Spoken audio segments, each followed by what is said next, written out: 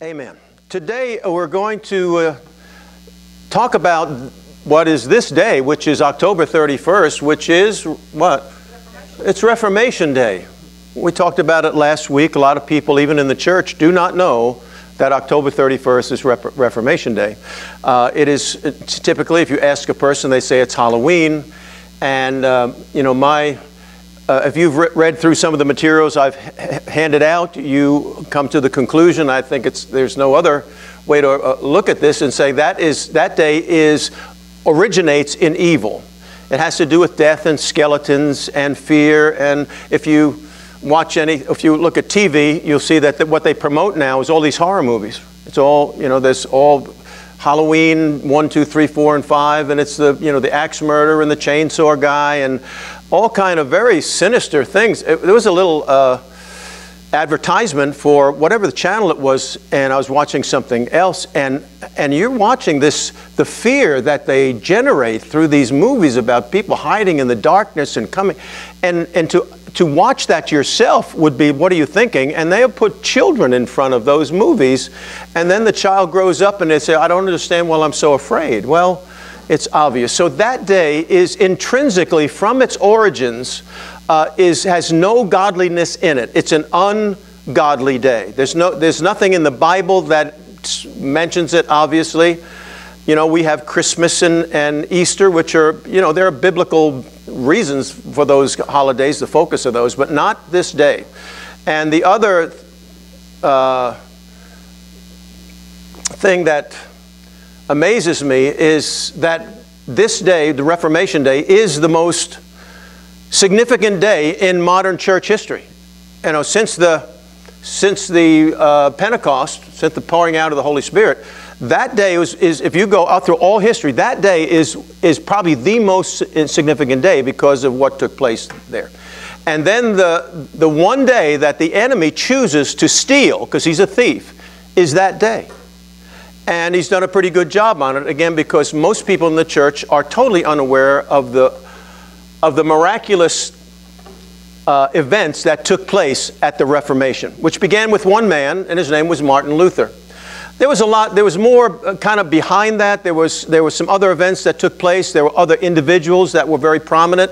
Uh, John Wycliffe, he, uh, he was a, a, about 100 years earlier than that. Maybe not quite that much. John Huss, he was, uh, uh, he was martyred. They burned him at the stake. Uh, John Wycliffe, he actually died of a stroke.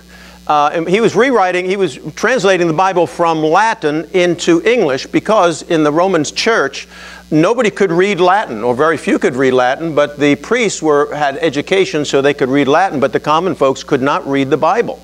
And they didn't have, uh, they didn't have copies of the Bible because they had to be handwritten. Uh, and so Wycliffe he, he translates the Bible into English. Well, later, you know, I don't know how many years later, I think it's like, uh, oh, 72 years later, the Roman church is so angry that he did that, that they dig up his grave, his bones, they dig up his body and burn it into ashes and crush it and throw it into the Thames River or wherever they were. They throw it into the river. That's, how, that's, a, that's a religious spirit right there. See, that's a, a religious spirit always has a spirit of hatred to it and murder. You know, Jesus said if you hate your brother, it's the same as murder, but they did actually murder people. So uh, then, two major events took place, or an, an individual and an invention took place at 15, we're talking 1517. That's when Martin Luther nailed those 95 theses to the door of Wittenberg. And all as he was doing, he, he had gotten a copy of the, of the Bible. He was a priest, and he's, he's, uh, was training as, as a priest and, and became a monk. Uh, and he's reading the Bible and he reads Galatians, the book of Galatians, and he finds this verse that says, The just shall live by faith. And, and that took his attention, and he began his pursuit and his study. And he writes the 95 questions, and they primarily have to do with, are derived out of the book of Galatians. But the, the central theme, the thing that really, really uh, motivated him was the practice of selling indulgences during that period of time. I'll talk to you about in a moment. And so he writes them up there, and that sparks the Protestant Reformation because people copied them and they started to, you know, only 95, but there were questions. He's saying, I, I just want to, I just want to open a dialogue with the church so we can explore some of these things. Well, here we go on that journey, and they, they, got, they got very, uh, very aggravated and irritated by, by him questioning them uh, and their doctrine. And they said, Look, we've had these doctrine for so many years, and uh, they're locked in, and this is what we believe, and you have no right, you puny little monk down there, to challenge the church that's been around for a thousand years. Who are you to do that? Uh, but he did, and then, then it begins. Well, one of the other, the other, the invention that was now on the scene changed everything, and that is called the Gutenberg printing press. Now, Gutenberg printing, this is the first time they had a printing press called the Gutenberg printing press. Well, uh, I was up in uh, Atlanta. I got some free tickets to go to this. I just went by myself. Kathy couldn't go for some reason. I think your mom was around yet. And uh, this was uh, the, a display of, of Bibles from all throughout history. It is like it was like the Bible Museum. There's another name for it, but it wound up. It traveled all across the country, and they would rent out these big warehouses and set this whole thing up. And you would go through and look at all of these wonderful displays, like a museum. It's now in Washington D.C.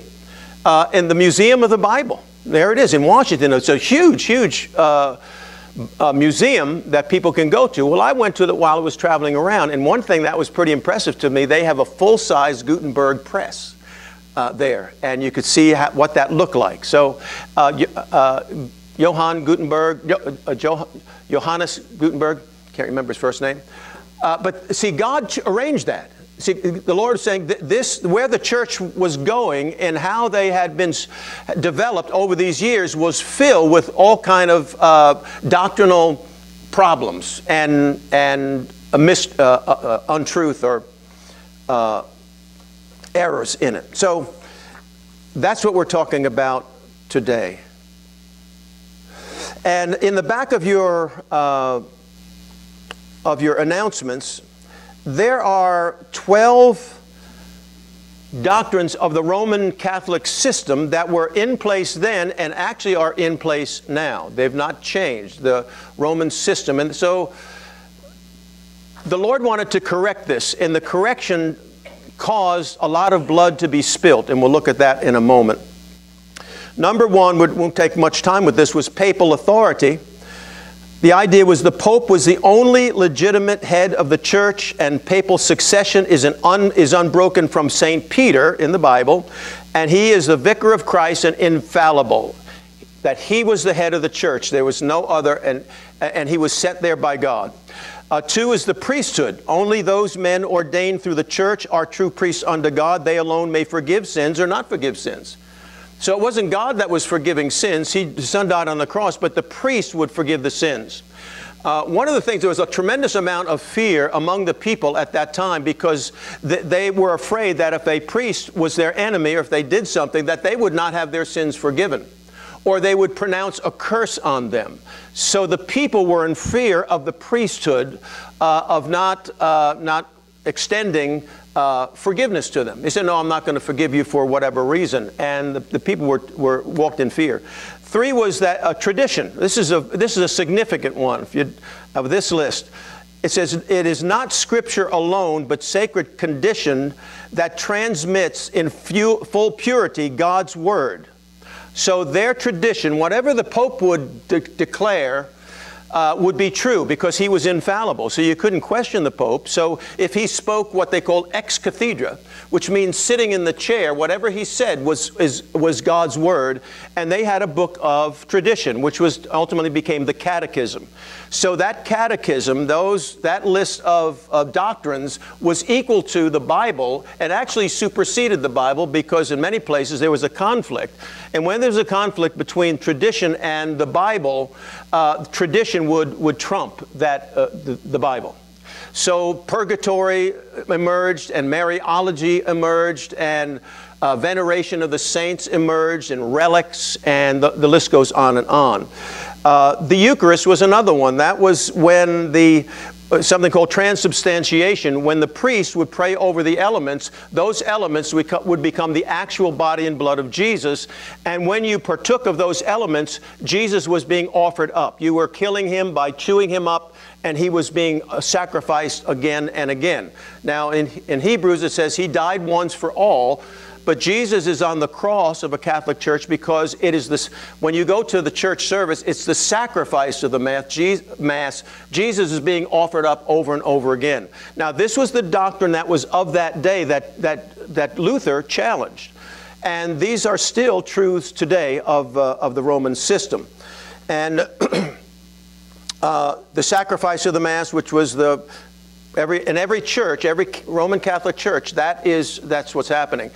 To not attend church is called a, uh, not a venial sin, but a mortal sin. They had, they had a list of sins. Some of them were small sins, venial, but some of them were major sins, and one of them was missing Mass. If you were not at that Mass, that was a major sin you had to confess to a priest. Uh, and uh, number six was praying to Mary and saints. That was a big thing. A saint in the Roman system is someone who is acknowledged to have done mighty, you know, different works and maybe had a miracle. It was an individual, a man who was prominent, and they would then be voted in as a saint. And then you get a statue and you get to pray to that person depending on what their specialty was. Uh, a lot of folks have in their cars, they have Saint, huh? St. Christopher in the car. So he is the patron saint of automobiles or travel, let's say travel. So you pray to that saint. Uh, or you pray to Mary, who is an intercessor and brings your prayers to Jesus. Now the Bible says, now therefore there is no there is, uh, there is no uh, intermediary between God and man except that man Christ Jesus. We, we pray to the Father through Christ by the Holy Spirit, but not in that system. You have to go to a man. In addition to that, there's a lot of statues that you pray to, and I was in, uh, in, in, Madrid, uh, in Milan, at uh, the third largest church in the world. It was quite, quite a structure. It had 54 10 foot columns holding this thing up, and all inside of that church there were caskets of, of saints, of people who were, uh, you know, prominent people, but there's all dead people in that church, all throughout it, and people would go and pray to each one of these dead people. Then up the road was another church, and in that church, it was built in 374, which is just shortly after the uh, Constantine's uh, conversion, so to speak, and there was a big transition there, old, old church. And in the bottom of that church was, was a dead guy whose name is Ambrose, and I've told you that a number of times. And I it, it's an old church, and there was a one, what was there, that the people would pray for, uh, uh, forget what it was, but it was shiny and worn out because when the people came to that image, that relic, they would rub their hand on it for a special blessing, like a good luck charm. Uh, in one of the, in, and I don't know was that church or one close by, but they they thought they had the uh, uh, the the bronze serpent that was held on the staff by Moses and there's the, the, the, snake. Now, if you go to the Bible, it says they actually destroyed that. They, in the Bible, it says they destroyed it, but in that church, there was that, they said that's the bronze uh, snake, and they would lay hands on that. So, uh, a lot of unusual, you might even say bizarre traditions, but they were very common. So anyway, we go in this church, and I went down behind the, the under the altar place, and there was Ambrose there in his little uh, priestly outfit, and you could see through the glass, you could see him sit, laying there. And he was the guy who, who came up with transubstantiation.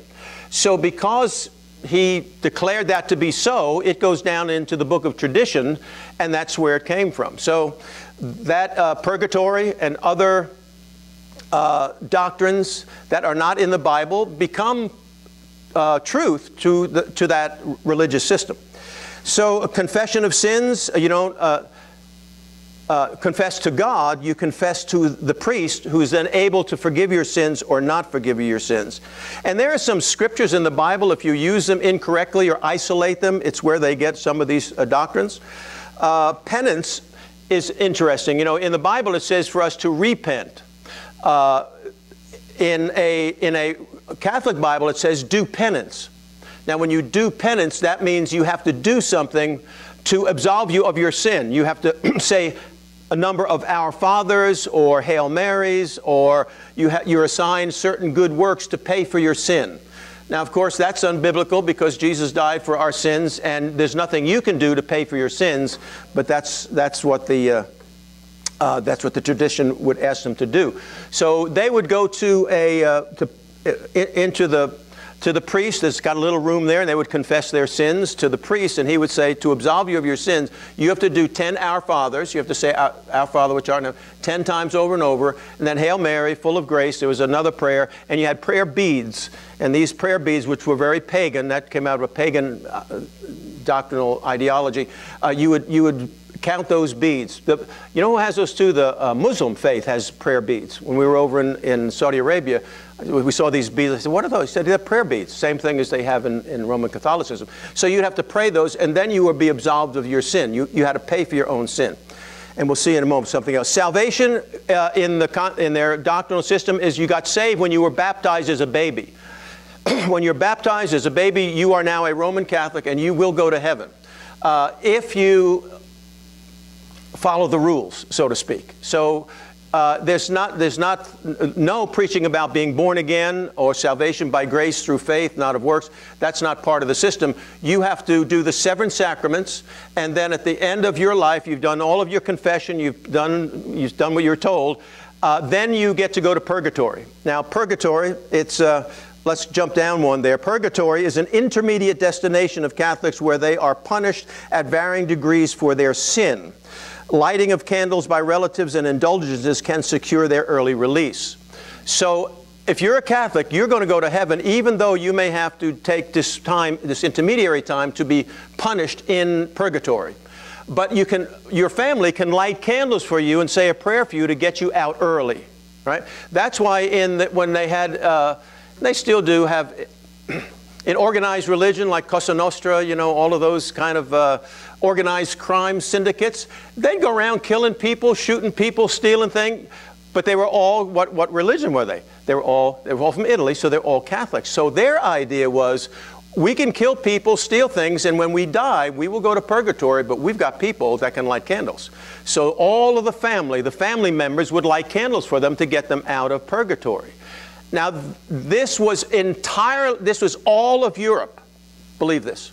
And the popes became so powerful because the belief system was the pope could curse you, and if he cursed you, you were done. You, they would tremble when that pope came in. Now, they, it's, it's uh, history how, how, how much wickedness and corruption there was in the popery of the time and what, what their activities were. Uh, but then it became the Holy Roman Empire in Europe where the, the the religious system was more powerful than the political system. It's called the Holy Roman Empire. They dominated the whole system. So now you got Martin Luther living in this. Now, the, the, the thing what I want you to understand is the, the bravery of the man who takes a stand against it's speaking, speaking truth to power. You know, we hear that a lot speak truth to power. That's what he was doing. But he just wanted to open a dialogue, and, it, and it's a spark that sets the whole thing on fire. Okay?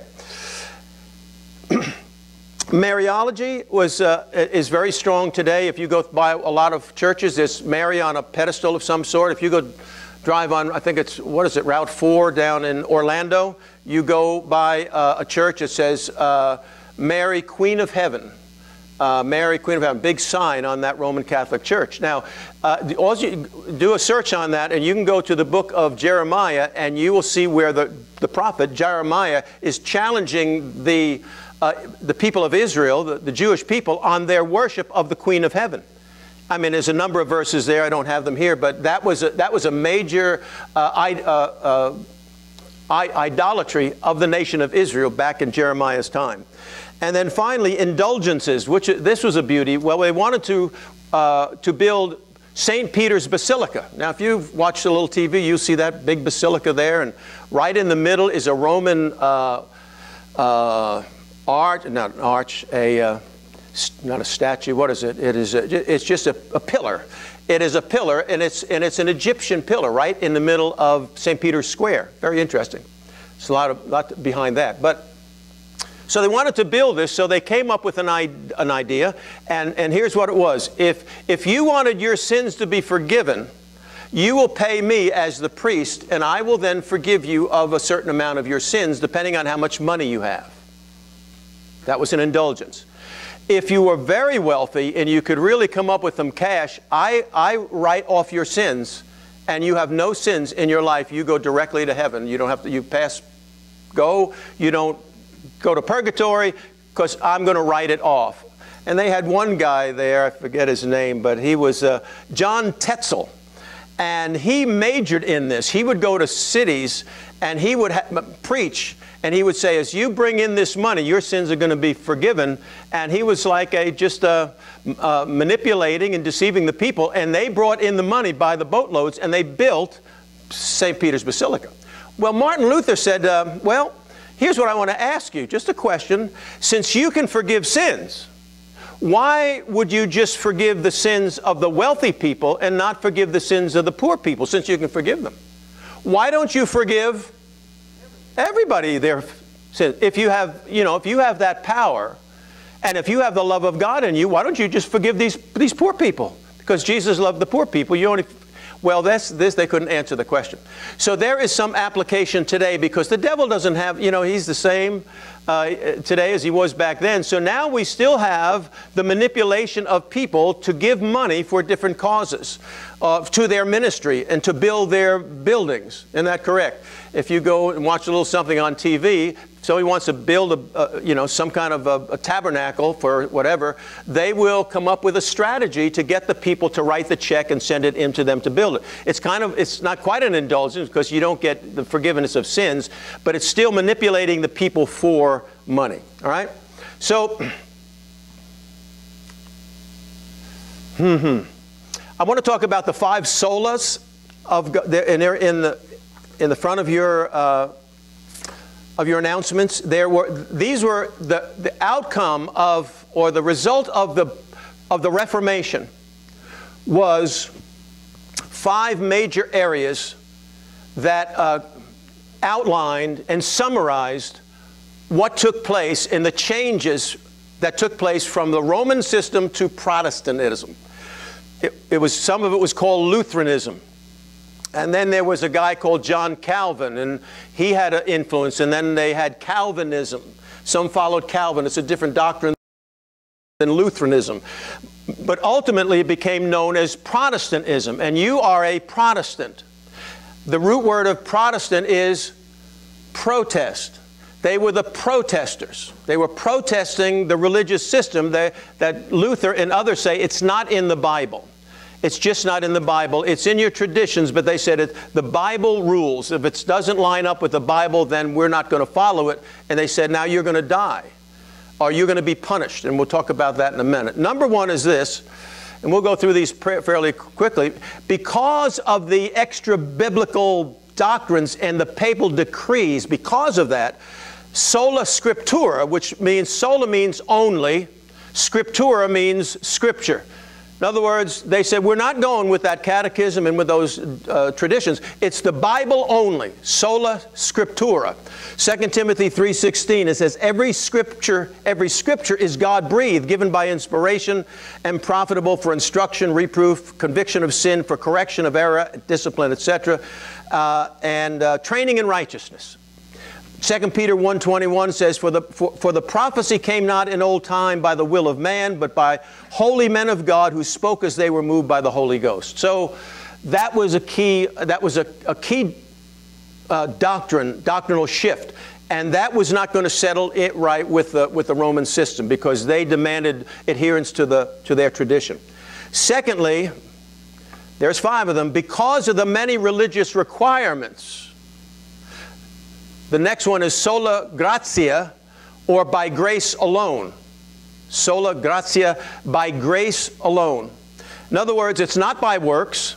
It's not by anything we could do. The Roman system, the religious system, it says you have to do something to earn your salvation.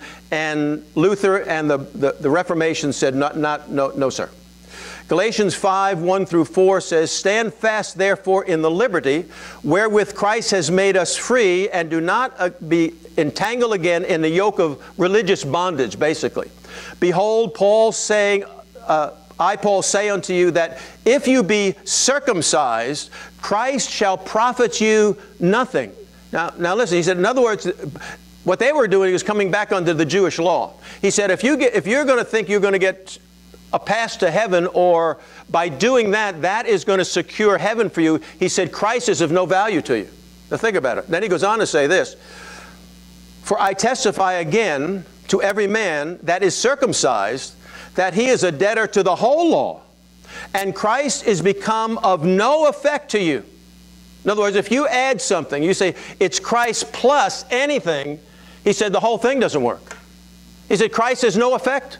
Some, I don't know if, if there's some religious systems that say, well, it's, it's Christ plus something.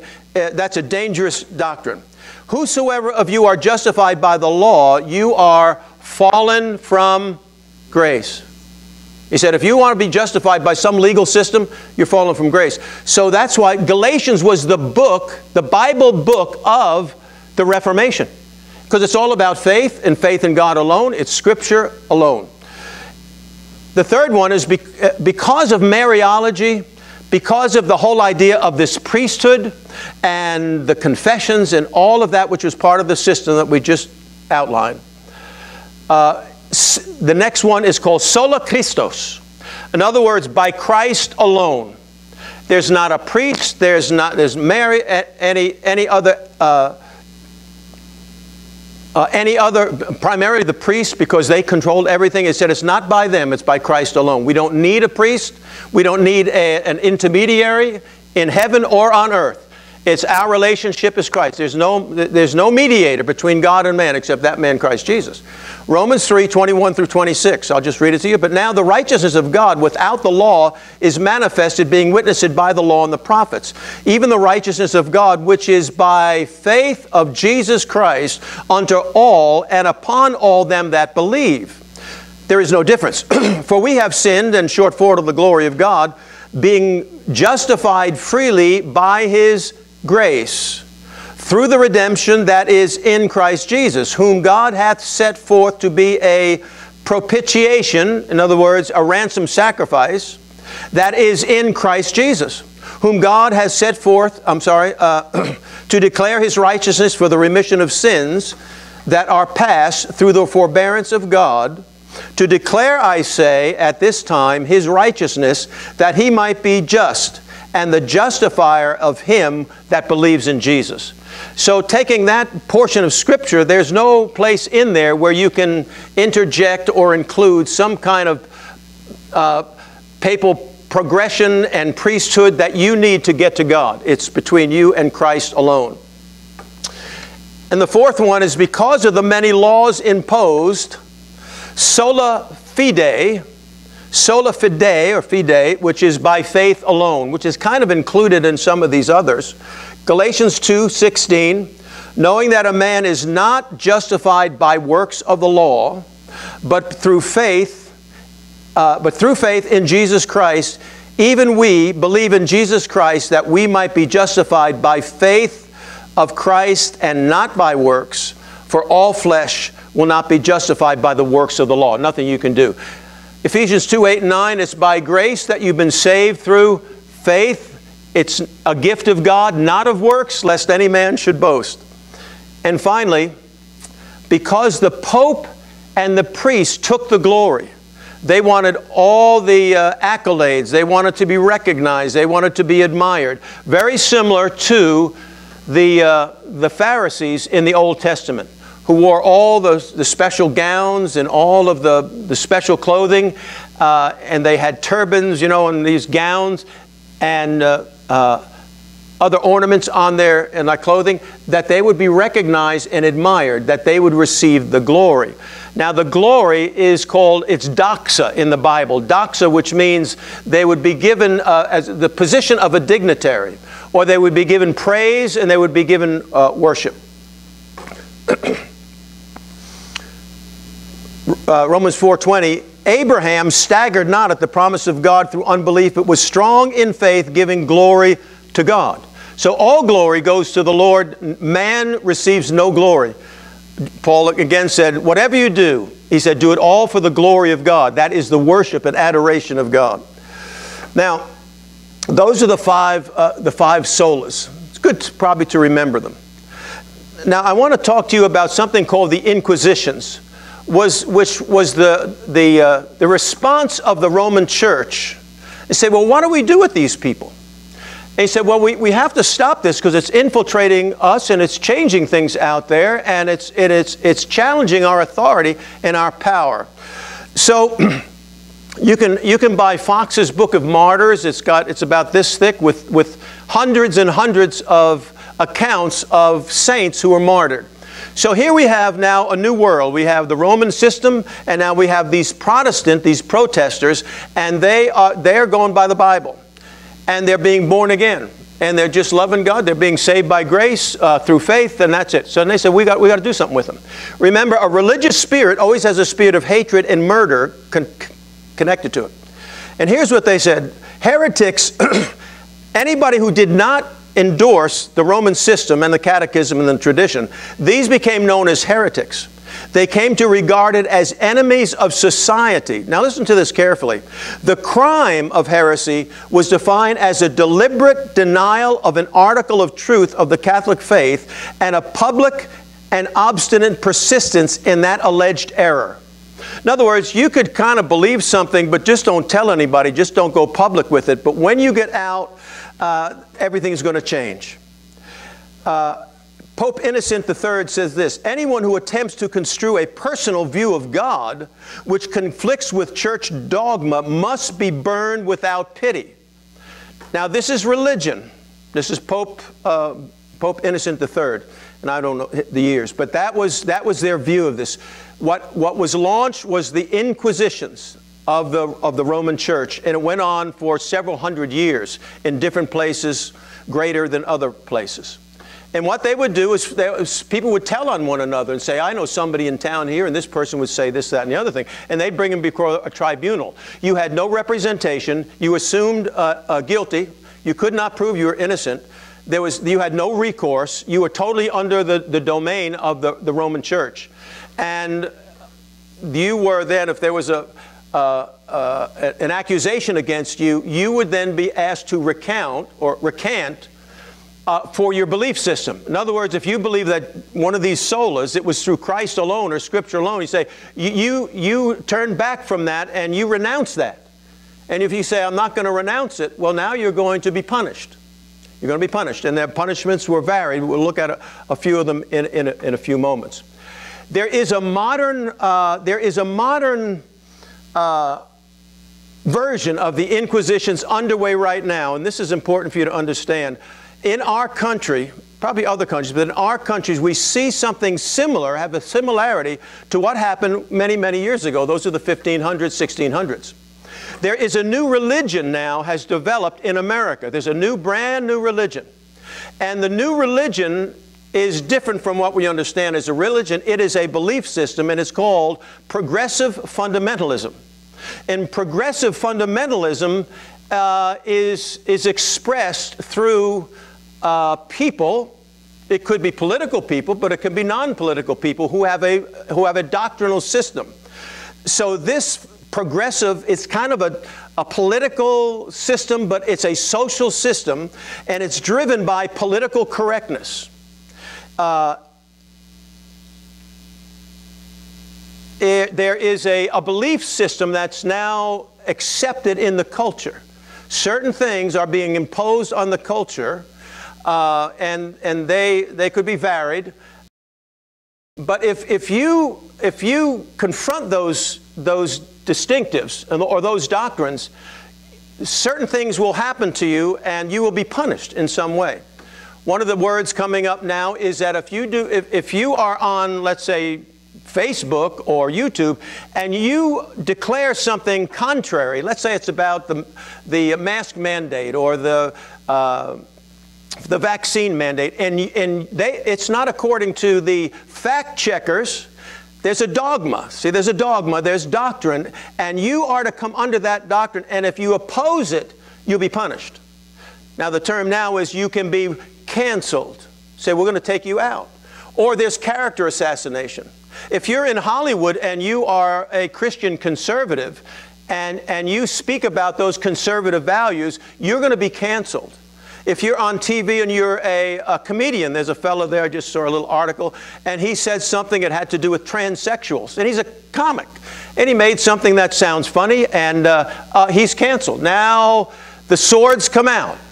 But it's the same spirit. It's a new religion, is my point and there are dogmas and there are doctrines and the enemy is behind it and, and the point is to is ultimately to put, for you to zip it and do not declare publicly what you are believing because you will be canceled, you'll be ostracized, you'll be mocked, you'll be ridiculed. If you're in a, if you're in a school uh, and, and the Facebook thing goes out there, you're going to be a target.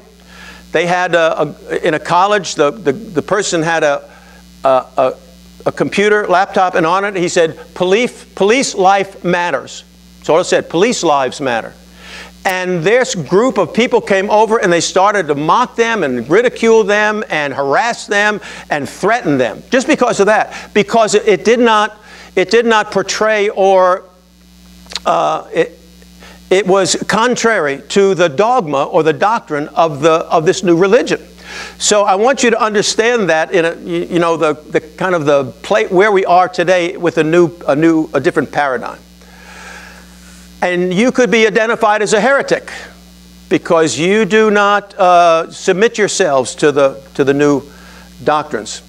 And this, uh, and this new religion controls the information, just like the, uh, you know, the Roman Catholic Church. They had, they had a Bible was written in Latin, and you, nobody could read it. So you control the information. As soon as the information got out there, then the, then the persecution began. And it's the same with that on, on all of these platforms now, most, all of them are now controlled by the new religion. And that's trying to, you know, control and change uh, the culture. And there are people, it says, in the last days, brother against brother, sister against sister, they're going to tell on one another, they're going to report one another. And when the persecution breaks out in the end times, the last, the last half of the last seven years, people are going to turn on one another and turn one another in. That's what they did in the, in the Inquisitions. Same thing. They turned one another in, and then the authorities came and took them away. Already that's happening in different places, uh, not too much in America, but up in Canada and Australia. They're, they're arresting pastors because they are not, they are not obeying these. Uh, these doctrines and dogmas of the, of the culture, and they're arresting them, putting them in jail. There's a, a Polish guy, he came out of communism, uh, and now he's in Canada. He said, I'm not, I'm not doing that. That's communism. You can't take my rights away. He said, Oh, yeah, we can. They, they, they left the church. A little bit later, they came and they arrested him, he's, and he's in jail. So uh, not, don't say, well, it can't happen in America. It's already happening. This new religion is already trying to take dominion over the, the, uh, the, the nation through punishment. If you're going to be punished, you're going to be persecuted to get you in line. Now, what's alarming to this is it, there is one of the most prominent uh, faith preachers, one of the biggest faith preachers in, in our country. I was watching one of his messages, and here's what he said. Now, think about how crazy this is. And he's preaching this message, and he said, the, the Catholic Church, when the Protestants came along, was the biggest church split. Now, listen to the term. It was the biggest church split. He said, oh, You're talking about a church split. That was a church split. Now, that positions the Roman system as having legitimacy and saying the church then split. And these people who did this, you know what they're called? You listen to them preach on this. They're called protesters. Protesters. What do you mean protesters? We're supposed to be have the love of God, and here we are being called protesters. There's something wrong with that. Now he's mocking this day and the Protestant Reformation and Martin Luther and Zwingli and Huss and go down the list. He's saying all of these people were uh, and then he says this, this was driven, it was, a, it was a spirit, it was a spirit of division, and it's now being pulled down because there are these enclaves where people are getting together and saying this Roman system and this Protestant system have to be healed and brought together to be one. Now, that is simply saying this in the end times, there will be one world church everybody's going to come under a world church of some sort. And that is the concept of it. We're all one. And this faith preacher is saying that was a spirit of division. and he says that demon, that demon has fallen. Now, I want to get your attention here to understand what's going on in the, in the culture. And in, in, in the Protestant church, he said that was a demon of division and it's fallen. Now, the idea here is that uh, this protesting church was wrong.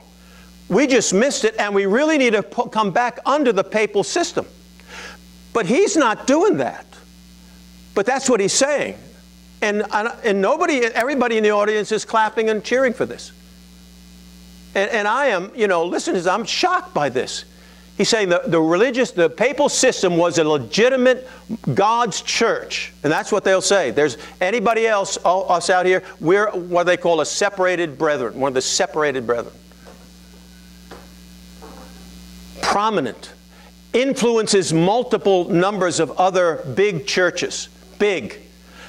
Big saying it's it, this movement, what we're talking about today, was right from hell, right from demons, right from the devil.